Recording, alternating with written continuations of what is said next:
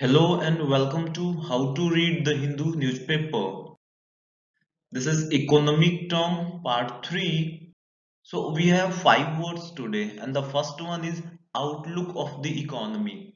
Outlook of the economy अगर newspapers में या मैगजीन्स में कहीं भी आपको मिलता है तो आप समझ लो कि आउटलुक ऑफ़ द इकोनॉमी का मतलब है कि देश की अर्थव्यवस्था आगे कैसे बढ़ने वाली है।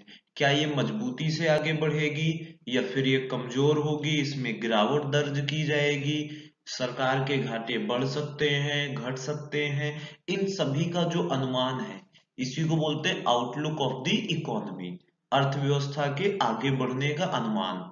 आगे बढ़ने इन द सेंस यहाँ पे ये नहीं है कि अर्थव्यवस्था आगे ही बढ़ेगी।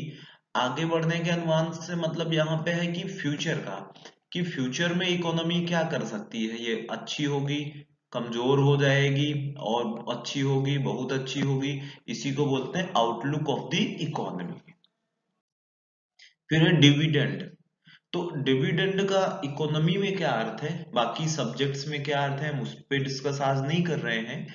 डिविडेंड का इकोनॉमी में मतलब होता है लाभांश। लाभांश समझते हैं? लाभ का अंश। मान लो कि आप कोई बिज़नेस करते हो और आपको सौ रुपए का प्रॉफिट हुआ, लाभ हुआ, और इस सौ रुपए में से आपने दस रुपए मुझे दे दिए तो ये लाभांश कहलाएगा क्योंकि आपके लाभ का अंश है, ये आपके प्रॉफिट का एक शेयर या परसेंटेज है। इसी को इकोनॉमी में बोलते हैं डिविडेंड ठीक है? फिर पे आउट तो पे का मतलब तो चुकाना होता है, जानते ही हैं बट पे आउट का मतलब होता है धनराशि, और किसी भी धनराशि के लिए अक्सर पे आउट नहीं लगाते इकोनॉमी में, कि आपने किसी को सौ रुपए दिए तो पे आउट लगा दिया गया no no no pay out actual में इकोनॉमी में तब लगाते हैं जब कोई भी धनराशि बहुत अधिक होती है। हज़ार करोड़ किसी को दिए गए। 500 लाख करोड़ किसी को दिए गए। ऐसे अमाउंट के लिए पे आउट लगाते हैं अधिक मात्रा की धनराशि, अधिक धनराशि के लिए। फिर कैपिटल तो कैपिटल का मतलब राजधानी या वाट आपको पता है ऑब्वियसली इकोनॉमी में कैपिटल का मतलब होता है पूंजी।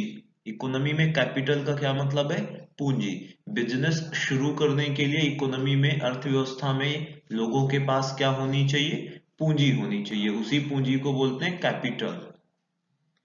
और लास्ट वर्ड है हमारा आज का रेवेन्यू रेवेन्यू का मतलब होता है राजस्व।